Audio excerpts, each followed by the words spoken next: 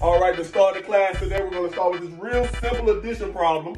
I want y'all to solve it and tell me what y'all think the answer is. I got six. All right, six. I can see. Okay. Nine. Nine. Okay. Okay. I got eight. Eight. All right. Cool. That's the answer It's right 72. there. Seventy-two. Se- Seventy-two. Who's it? Who said that? Who said seventy-two? Which one of you dumb adolescents said seventy-two? Oh, okay. Nobody gonna talk now. If nobody said who said that, everybody get the help. I'm talking about everybody Oh, getting the help. it was Kylan. Colin, Colin, you said seventy-two. I, I got it mixed up. Four plus four. How in the world does four plus four equal 72? How does that equal 72? I heard nine. I heard eight, which is the right answer. And then your dumb self don't say 72.